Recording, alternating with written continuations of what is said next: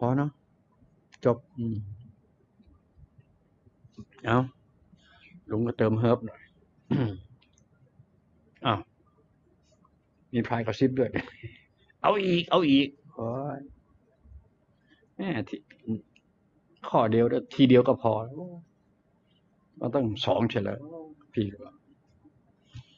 อ่าอ่าตามใจตามใจอ้าวต่อไปก็เป็นการฝัน ครั้งที่สิบสองคนเลยคืนเดียวฝันแม่งสิบหกครั้งสิบหกเรื่องโอ้เป็นรามเกียรติ์เลย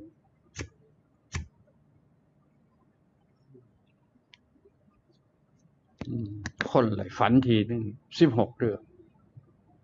ไอ้แค่ตั้งแต่เที่ยงคืนถึงสว่างโอ้นะชั่วโมงเลยตั้งสองเรื่องสองเรื่องสามเรื่อง โอ้ย จะเชื่อได้ไหมเนี่ย ใช่ไหมครับ เป็นไปได้ไหมเนี่ยอ้าวฟังไว้เถอะครับไม่เสียหาจะประการใดหรอกเอานะ ตอนนี้เรา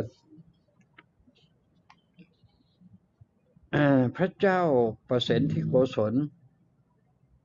ทรงพระสุบิน ครั้งที่สิบสองขมวดเรียบร้อยแล้ว มันจะตีความมาว่า คนดีถูก ขัดขวางรังแก ความฝันเป็นยังไงนะความฝันนั้นปรากฏว่า ได้เห็นน้ำเต้าแห้งเปล่า น้ำเต้าแห้งเปล่า มันกลวงข้างในน้ำเต้า น้ำเต้าแห้ง รู้จักน้ำเต้าไหมพี่ ลูกน้ำเต้าอะ มันเป็นแบบถุงเงินถุงทองปื้ดเนี่ยอ่าอย่างเงี้ยเพื่อนเพื่อนบอกตอนว่าภาษาอีสานบอกตอนเอ้ยไม่ใช่ ลูกฟักบอกตอนลูกฟักมันเป็นยังไงลูกน้ำเต้ามันเป็นอ่าเหมือนถุงเงินถุงทองอะนึกออกไหมครับ เขียนในอากาศให้ดูดิอ่าอ่าโอเคไหมงนี้ก็ได้ เขียนดีแล้ว ปุ๊บนี่ ลูกน้ำเต้ามันกลวงข้างในนะจ๊ะนะจ๊ะถ้านึกไม่ออกนึกถึงมะพร้าวนะมะพร้าวไม่มีเจ้า อะโอเคไหมครับ อืม นึกถึงตรงนั้นนะฮะทรงทศเวนเห็นลูกน้ำเต้า แห้งเปล่าๆกลวงในตามธรรมดาแล้ว จะลอยอยู่เหนือน้ำเขาเรียกลูกลอย ลูกลอย ลูกลอยกันละลอยเหนือน้ำลูกโป่งกันแล้วง่ายที่สุด เออ ลูกโป่งไปวางลอยน้ำกันแล้วกันแทนลูกน้ำเต้านะครับ แต่น้ำเต้าเปล่าที่ว่านี้กลับจมดิ่งลงไปในน้ำว้ายโอ้ยน้ำเต้ามันก็ต้องปกติมันต้องลอยน้ำเทนะฮะมันจะไปจมดิ่งลงไปในน้ำได้ไงโอ้ ความฝันแบบนี้ ไปได้เหรอท่านพิมพ์พิมพิเศษเฮ้ยเปอร์เซ็นต์ที่บอกแล้วว่ากินมาก ฝันมากนี้แหละโอเค น้ำเต้าจมน้ำนั่นเอง โอเค น้ำเต้าแห้งมันก็จมน้ำปกติมันจะต่อลอยน้ำดีมากครับโอเคนะก็เหมือนกับลูกโป่งเหมือนกับ อะไรล่ะถาดก็ได้กะละมังก็ได้นะครับ อืมปี๊บก็ได้นึกออกไหมครับ นะอืมสูบอากาศออกให้หมด นะนะแล้วก็ปล่อยน้ำมันก็ลอยไปทำนองเดียวกันนะมันลอยนะอยู่ๆมันก็จมดิ่งไปดื้อๆอย่างเงี้ยว้ายว้ายฝันแบบนี้ยังไงล่ะ ไม่เป็นก็ตายเลยแบบเนี้ยประมาณนั้นนะครับ เอาละ พระพุทธเจ้าก็ตามสไตล์เดิมนะครับ ในอนาคตต่อไปในภายภาคหน้านู้นคนดีต่อไปนะทีคนดีดีคนดีนะใครน้อยเป็นคนดี หน้าจอในจอ ในจอนี่เวลาดีหรือเปล่าไม่รู้นั่งพ่นควันตุยตุยๆอยู่นี่ดีเปล่าไม่รู้อยู่ในจอเนี่ยคนดีมีความรู้ดี มีสติปัญญาดี มีความรอบรู้ มีความเฉลียวฉลาด มีความสามารถมีทั้งพระ และคารวาสจะไม่ได้รับความยกย่องเชิดชูบูชาในสังคม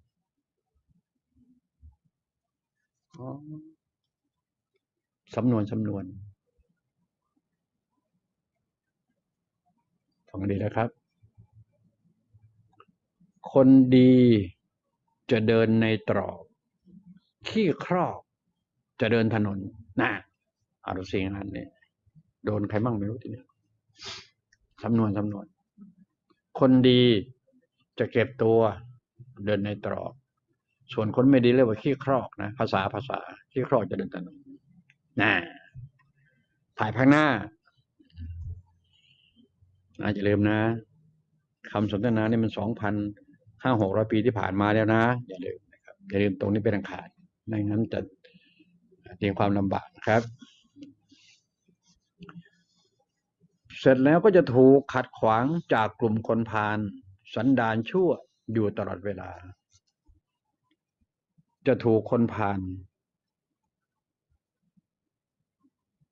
สันดานชั่ว ขัดขวางอยู่ตลอดเวลา ถ้าเป็นคารวาสก็ไม่มีโอกาสได้ทำงาน ในการบริหารประเทศชาติบ้านเมือง แปลว่าคนดีเนาะจะถูกคนพาล อย่างนี้ก็วกเป็นยังอำนาจหรือเปล่าอย่างเงี้ยคนดีที่มีอำนาจ มันก็สุดยอดปรารถนาเนาะเนาะใครๆก็อยากจะได้ ถ้าว่าคนคนไม่ดีมีอำนาจก็สวยทั้งแผ่นดินแล้วครับ พอได้ไหมครับเห็นไหมมันมาถึงยุคที่พอที่จะแปลมาได้ท่านก็ช่วยแปลด้วยนะพี่นะเออผม เราผมตาแปลคนเดียวมันก็ไม่ยุติธรรมนะพี่นะ อืมก็มีโอกาสได้ทำงาน ในการบริหารประเทศชาติบ้านเมือง คนที่มีความรู้ความสามารถ มีความชื่อสัจจุริตไม่มีโอกาสเลย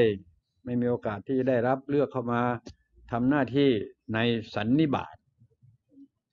นี่ลุงลุงตัดคำว่าสภาไปนี่เนี่ย ลุงตัดคำว่าสภาไปนะ เอาสภาก็ได้วะสภาสันนิบาตดีๆเนี่ย ไม่มีโอกาสได้เลือกเข้ามาเลย ก็คนเลือกดีหรือไม่ดีทีเนี้ยมีทุกคนเลือกเลยนะถ้าคนเลือกไม่ดี ไม่ดี มันก็เจอกับไม่ดีเขาเรียกว่าสำนวนนะฮะขี้หมูไหลเหรอเห็นไหมขี้หมูขี้หมาผสมกันก็ไหลไปตามนั้นมันอยู่ในกองเดียวกันแบบ ก็แปลว่านะผู้เลือกก็ต้องมีปัญญา ผู้จะถูกเลือกก็ต้องมีปัญญาน้อยเสนอตัวประมาณนี้นะมีแต่อิทธิพลกันขับโลกขับบ้านขับเมืองเนี่ยนะนี่ข่าวคราวมาแล้วนี่บ้านเมืองเราเนี่ย ไม่ใช่วันที่ยี่สิบกว่าธันวาเนี่ยไม่ใช่เลยเห็นไหมมันจะมาแบบนี้ รากงอกสักกระดาษได้รากมาให้หลายสามรุ่นสี่รุ่นผูกขาดกันอยู่อย่างนั้นแหละเงี้ยเนี่ยมันจะเป็นวิจารณ์โทษทีขออนุญาตขออนุญาตจะกลายเป็นวิจารณ์ลุงมันยิ่งวิจารณ์ได้ทุกเม็ดในเวลาวิจารณ์วิจวกด้วยต่างหากพอพอจะใส่ไข่เอาแค่นั้นก็พอแล้วนะคนดีไม่มีโอกาสได้รับเลือกเข้ามาในสภาสันนิบาตหรือ หรือ ได้เลือกเข้ามาแล้ว ก็ไม่มีโอกาสได้ทำงานเพื่อสังคมโดยรวม ในนี้เขาเขียนคำว่า ในประเทศชาติ สังคมโดยรวมอะไรกันลุงก็เปลี่ยนภาษาให้มันอ่อนลงไป จะไมีกลุ่มทุจริตคิดไม่ชอบ ก็พวกอันธพาลนั่นนะครับ กลุ่มคนพาลนั่นนะครับ สันดานชั่วตลอดเวลานั่นแหละกลุ่มนี้เลยครับนะนะนะนะ จะมีกลุ่มทุจริตคิดไม่ชอบ เพื่อหวังผลประโยชน์ต่างๆ เบียดสีให้ตกเก้าอี้ไป เบียดสี เบียดสีเสียดสี เบียดสีได้ได้ได้ให้ตกเก้าอี้ไป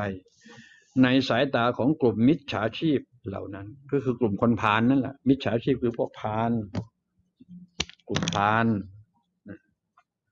คนพานมิจฉาชีพเนี่ย เคไหมจะมองเห็นคนดีว่าเป็นตัวกาลกินี ขัดหูขัดตาหมดเห็นไหมขวางหูขวางตาหมด คนไม่ดี อันธพาลมิจฉาชีพ มิจฉาทิฐิ กลุ่มเดียวกันแหละ นะฮะ ไปเห็นกลุ่มสมมาทิฏฐิเห็นกลุ่มดีนี่กลายเป็นตัวละ ตัวกาลกินีไปเลยใช่ไหมเขาเรียกพวกตาต่ำใจชั่ว นะ กลุ่มคนพานี่คือพวกตาต่ำใจชั่วเห็นไหมครับ อืม เห็นไหมเห็นไหมตาต่ำใจชั่วอะไม่ดีเห็นชัดๆอยู่แล้วนะไม่ดี ยังไปมีอำนาจ ชัดนะผมว่านะบ้านเมืองเราเดี๋ยวโหนั่นนั่นในสถานของกลุ่มมิจฉาชีพว่าเป็นตัวเคนี ไม่ยอมที่จะให้เข้าไปรู้ไปเห็นในความทุจริตคิดไม่ชอบของตัวเอง กันหมดทุกประตูเห็นไหมไม่ให้รู้ไม่ให้เห็น ไปทำอะไรไม่ทำอะไร ก็ยังไงมันก็สู้สามสหายไม่ได้หรอกนะมันจะหนีไปไหนหนีหูหนีตาพญานาพญาครุฑพญาช้างเผือกไม่ได้หรอกนะนะนะนะนะท่านนี่อยู่หน้าจอที่เคารพครับ รู้จักลุงหงอกก็ รู้จักสามสหายไว้หน่อยก็แล้วกันนะ พญานาคพญาช้างเผือกพญาครุฑรู้จักไว้หน่อยนึงคนดีๆจึงไม่มีในสังคมนี้อีกเลย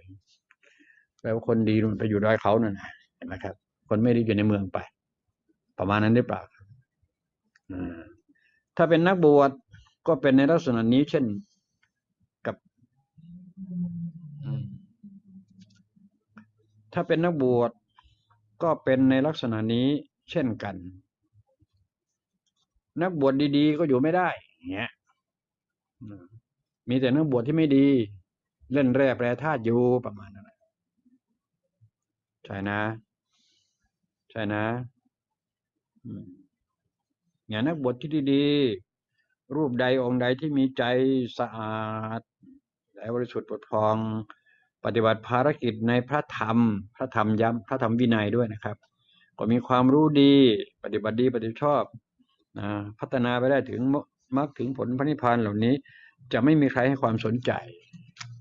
ก็ไม่ประกาศตัวเด้อเออประกาศสิพระธรรมวินัยเนี่ยฮะ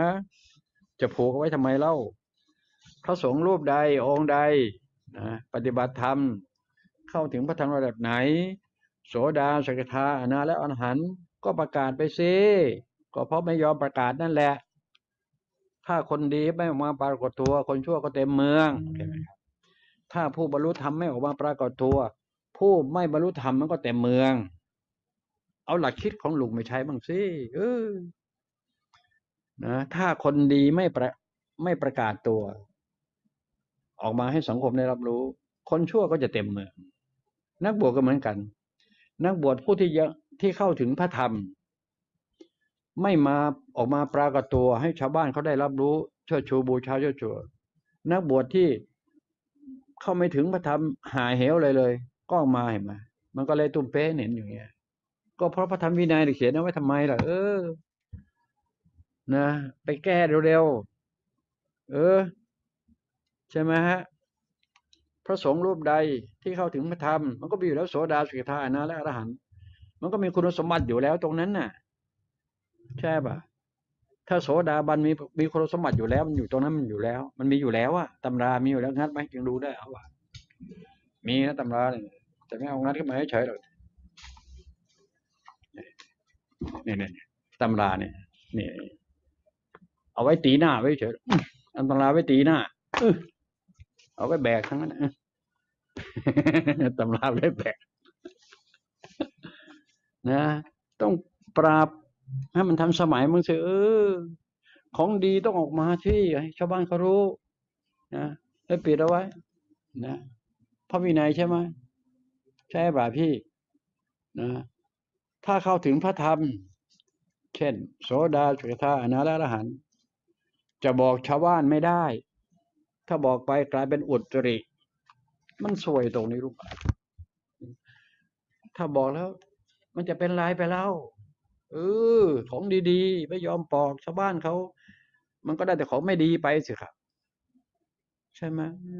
แมนบอลุงว่างั้นในเพศนะใช่ไหมครับ นี่เนี่ยก็มันจะเตี้ยลงเตี้ยลงเนี่ยนะคำสอนบอกว่า ถ้าคารวาส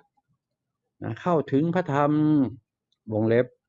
บรรลุธรรมถึงขั้นพระอรหันต์จะอยู่ครองเรือนไม่ได้ จะตายหงตายหาตายกระเทียมภายในเจ็ดวัน ลุงพูดเรื่องนี้มายี่สิบกว่าปี ไม่เห็นมันตายสักทีเองจะรู้นะนี่นี่แค่พูดเนี่ยถ้าเข้าถึงจะขนาดไหนใช่ป่ะที่ว่านะ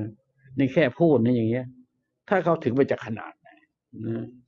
ใช่ไหมไม่จะเป็นไรทีพ่อเนี่ย ไม่ขีดเอาไว้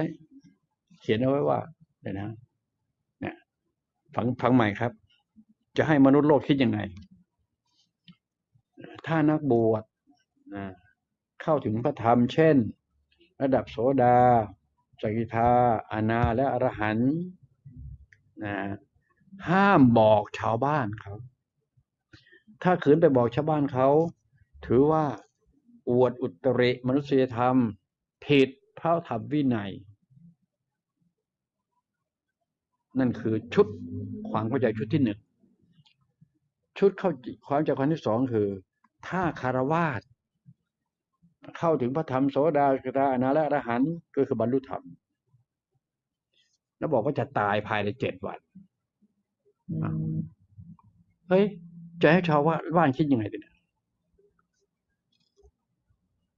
กักใช่ไหมหรือว่ารู้ไม่จริงอย่างเงี้ยใช่ไหมครับ ก็รู้ไม่จริงเลยครับ ต้องเขียนดักหน้าดักหลังไว้อย่างนี้เสร็จแล้วชาวบ้านก็เอาทำบุญไป เห็นไหมฮะสุดท้ายก็เอานรกมาขู่อสวรรค์มาขายต่อ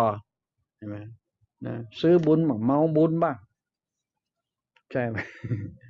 ใช่ไหมขายบุญ บ้าบุญ เมาบุญ บุญเท่านั้นสารพัดร้อยแปดบุญ แมนบอกความจริงบุญก็ดีนะที่ว่า บุญมันคืออะไรทีนี้ บุญคือความเข้าใจนะเห็นไหมเข้าใจไหมลุงเล่าให้ฟังเนี่ยถ้าลุงเล่าให้ฟังแล้วท่านเข้าใจแปลว่าท่านมีบุญแล้วใช่ปะนี่ยคำว่าบุญเนี่ยมันเป็นนามธรรมในเรื่องของปัจจัยที่เราถวายอาหารหวานข้าวตอนเช้านะพระสงฆ์ออกมาบิณฑบาตโอเค นั่นก็คือเรื่องของทำทานจะได้บุญ ถ้าทำบุญจะได้บุญ หมายความไง ฟังให้ดีนะครับ ประโยคนี้สำคัญมากนะครับ ถ้าพระสงฆ์ปกติแล้ว ตอนกลางค่ำคืนพระสงฆ์ที่ปฏิบัติดีปฏิบัติชอบเนี่ยท่านต้องทำสมาธินั่งสมาธินอนสมาธิของท่านทั้งคืนนะนะใหมให้เข้าถึงพระธรรมให้มีศักยภาพในส่วนตัวฟังให้ดีนะครับ มันจะมาตรงกับว่าตักบาตรกับใส่บาตรด้วยนะครับ อืม เนี่ยถ้าพระสงฆ์พระองค์ที่ปฏิบัติดีปฏิบัติชอบ คือเข้าถึงพระธรรมสมมุติก็แล้วกัน เอาสมมุตินะ ถ้าจริงก็สุดยอด สมมุติว่าเข้าถึงพระสาพระโสดาบันออกบิณฑบาตยามเช้านะชาวบ้านก็มา เอาอาหารหวานข้าวใส่บาตรใช่ไหมฮะชาวบ้านก็ เออ ตื่นเช้ามานะทำอาหารหวานข้าวทำบุญตักบาตรใช้คำว่าตักบาตรครับ อากับกิริยาคือเอาของใส่บาตรแต่คำว่าตักบาตรนะครับ อาหารหวานขาวไปทำบุญยามเช้าเอาลูกหลานเชิญมาเอามามามาเพื่อแข่งปันตักอาหารหวานขาว ตักบาตรคำว่าตักบาตรมันหมายความว่า พระสงฆ์รูปที่ว่านี้เข้าถึงธรรมระดับพระโสดาบันเนี่ยก็แปลว่า มีพระธรรมอยู่ในบาตรนะในระดับพระโสดาบันมีพระธรรม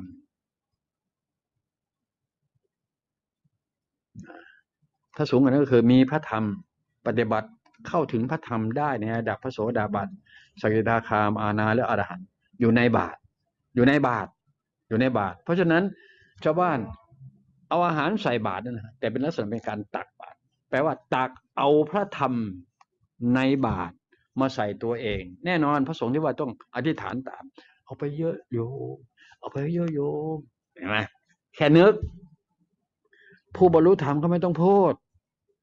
เขาแค่นึก ภาษานึกแปลว่าเขาปฏิบัติได้แล้วเขานึกเอานึกได้หมดนึก เอาไปเยอะโยมเผื่อลูกเผื่อหลานด้วยนะเออ เผื่อมูหมากาไก่ด้วย เผื่อสัตว์เลี้ยงด้วย นะไปไปไปไปปกป้องคุ้มครองการงานบริวารญาติมิตรทั้งหมดนานโยมนะ อย่างเงี้ยว่าแล้วก็ผ่านไปเนี่ยเขาบอกว่าใส่บาตรตบัตรอากับกิริยาเป็นเทวานสำหรับผู้บรรลุธรรมเขาจะเป็นอย่างนั้นโอ้ย โอ้ยเห็นไหมครับ ในรูปแบบนี้เอง ลุงว่างั้นนะน่าโอ้ยน้ำเต้าอันเดียวเนี่ยยาวขนาดนี้น้ำเต้าจมเนี่ยเข้าไปถึงไหนแล้วลุงก็ยังรายยาวไอ้ลุงน้ำเต้าแทนที่มันจะลอยน้ำมันแค่จมน้ำนะโอ้ก็แปลว่า นะลุงไปได้มากกว่า พระพุทธเจ้า ว่ารู้ว่างั้นนะเออโอเคนะผมหวังใจว่าคงจะได้นะครับ